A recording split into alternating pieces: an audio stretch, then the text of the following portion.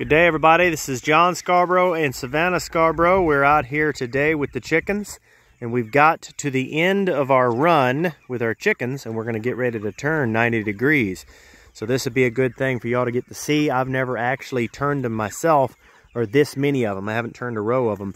Uh, but this is a question we get pretty often is how or why do we run our chicken tractors caddy corner like that instead of having them in line? And there are several reasons uh, but I really think that this is one good reason. Now, there's, like I said, there's several really good reasons, and we'll go into a more in-depth video of that. But right now, I wanted to just get a good video showing y'all how this is going to go, turning them just so that when you get ready to do this, you can, you know, set up in your own pasture. You can kind of get an idea what this is going to be like. And you can follow along and see how it works out for us because this is our first time. So I'm going to hand the camera to Savannah.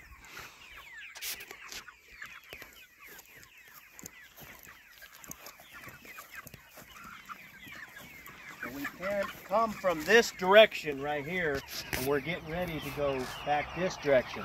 So it isn't even really a 90 degree, it might be more like a 45. So I don't know exactly what to expect here.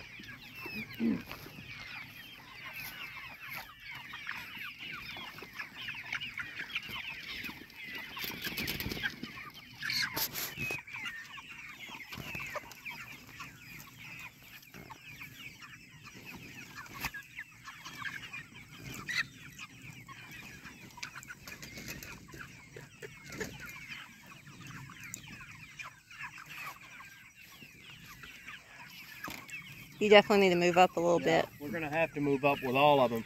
But it's a little hard to tell exactly because we're going to have to end up in a certain direction. So I think there's going to be a pretty good bit of moving here. I don't know how to pivot this. What do you think? Hold on.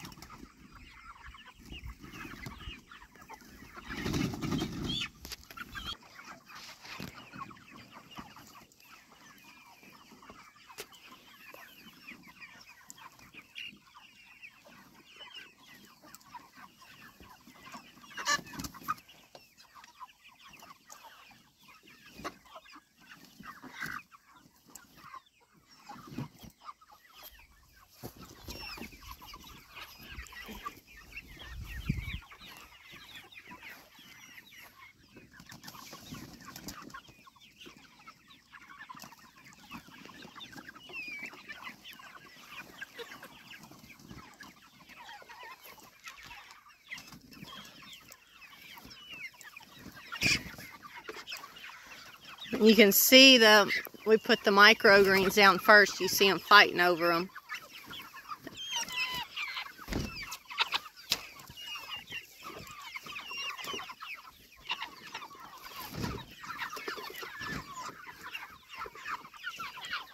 All right, so you can tell, come over here and look.